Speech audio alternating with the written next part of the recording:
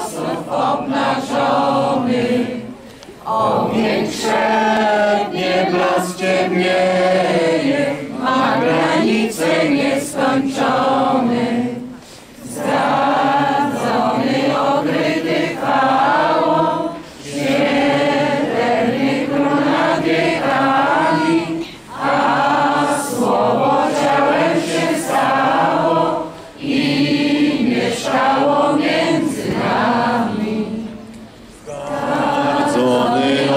Okryty Chwałą, śmiertelny król nad wiekami, a słowo ciałem się stało i mieszkało między nami.